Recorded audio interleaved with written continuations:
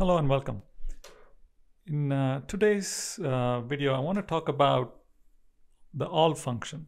Um, it's used extensively uh, in Power BI and not just all, all, all selected, all except.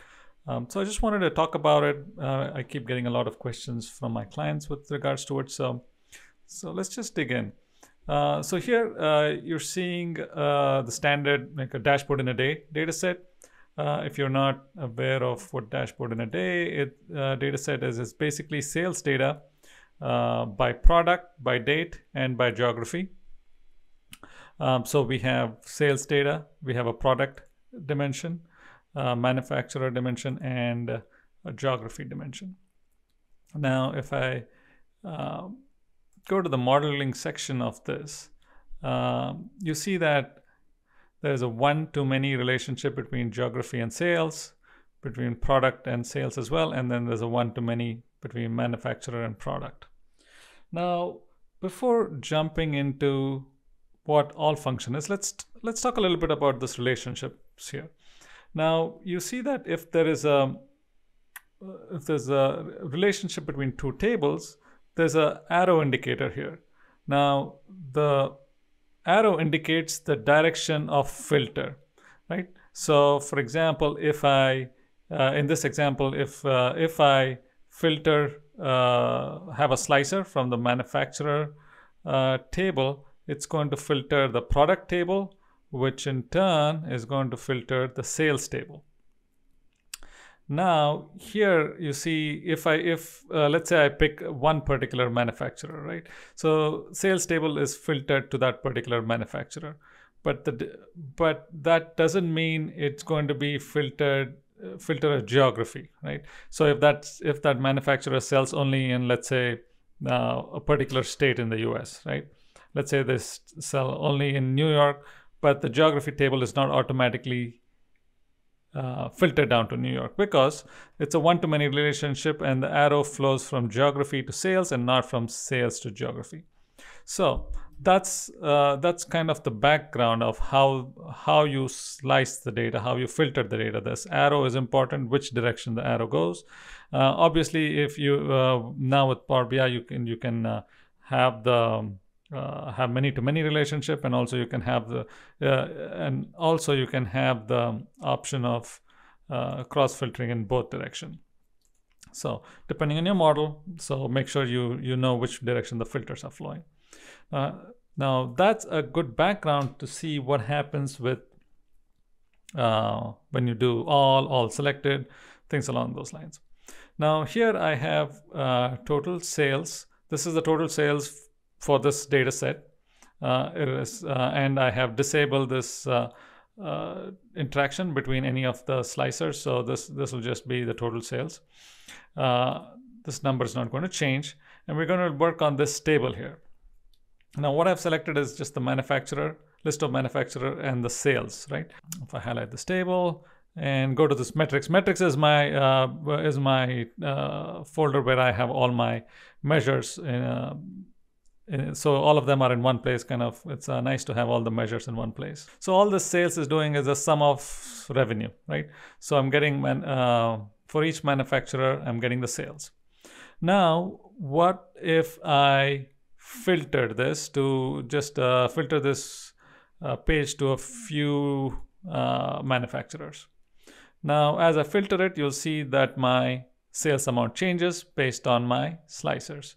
Now this uh, manufacturer uh, slicer comes from the manufacturer table. Now one of the questions I, I, get asked is, okay, I want to now get the, maybe, maybe I want a ratio. I want, uh, this is my total sales uh, for the selected manufacturers, but I still want a way to see the total sales. So I can maybe uh, uh, divide this number, maybe what percent of this manufacturer Natura's uh, sales is um, you know compared to the full total sales what what is the percent of Natura sales? So to do that we can use all function. Now what this does is it calculates sales and I'm using all manufacturer. So what that does is it is now removing any of the filters or slicers that's applied on the manufacturer table. So if I bring this measure in, let's see what happens. So I get the total sales, which is this total sales here on top you see in the card. So the manufacturer uh, filters are taken out, right? So what happened is if I go back to the model view, um, when I said all manufacturer, any slicer or filter that was applied to this table was taken out. So now uh, it flows through and removes any um, uh, any filters that's applied to sales, and I'm getting the total sales. So this the so in each row I get my total sales, and I can uh, divide these numbers to get the ratio, like how much of Natura sales is compared to all the manufacturers, right? Now, what happens if I add uh, maybe a state uh, slicer, right? Let's say I pick a couple of states here. This number changes. It's not the total sales because uh, what happened was in our all manufacturer, we said just remove the uh, filters that are applied to the manufacturer table. But here we have some filters on the state table. So what this is giving me is the total sales for all the uh, across across all for across all the manufacturer this all manufacturer metric or measure is giving me the total sales across all manufacturers uh, for those selected states. To validate this, let's say I, now this is, I took out the all manufa now I'm seeing all the manufacturers and this is for these two states, this is my sales. All right, so that's how all works. Okay, let's let's bring back. Uh, let's let me put these filters back. Now, what is all selected? Right, we have all selected. So I have a another measure here, which is basically calculating sales for all selected manufacturers. So if I bring this um, measure into my table, what number does that show? Now that is showing basically the sum of these three selected manufacturers.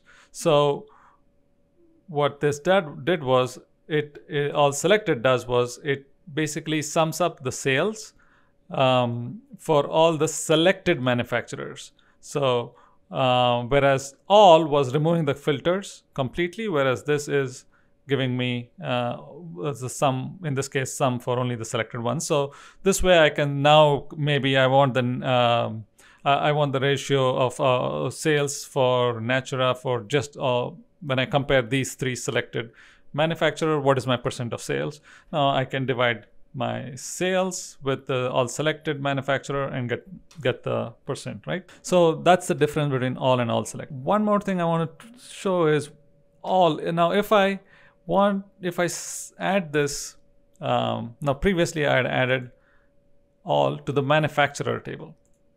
Now what happens if I add um, the all to the sales table, right? This is my actual fact table. Right? What happens if I add uh, all to that? So let's bring that measure into this table and see what happens. See, now what you're seeing is the total sales, which ma matches this card visual.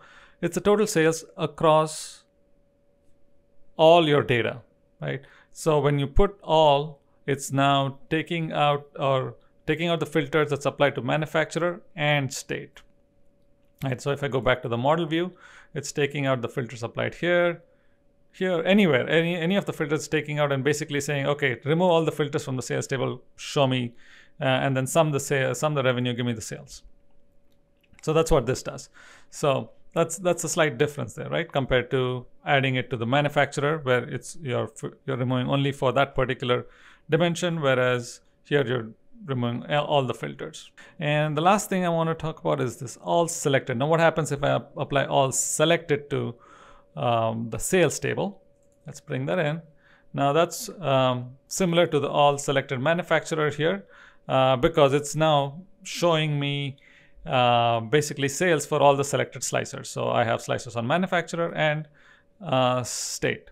Now if I remove all the, uh, clear out the manufacturer slicer, now it's basically giving me sales for the selected states. So hope that kind of gives you an idea of what all, all selected and where you apply it. When you apply it to the fact table, what happens? When you apply it to the dimension table, what happens? So hopefully that gives you a clear picture of how uh, these functions work. Thanks for watching and uh, hope to, uh, if you've got any comments, please leave them below. Thank you.